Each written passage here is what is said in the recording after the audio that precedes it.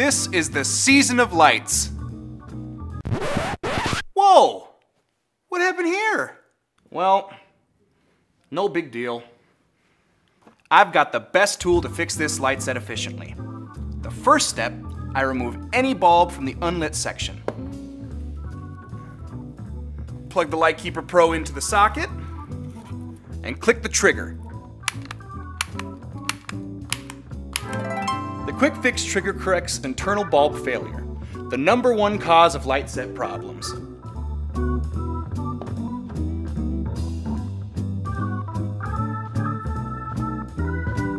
If the set does not illuminate, there are other reasons a set won't work, such as broken wires, contact issues, or missing and broken bulbs. So to solve these issues, I go to the next step, which is the audible voltage detector to help locate the problem, like this. The beeping indicates the presence of voltage. When the beeping stops, you have found the problem bulb.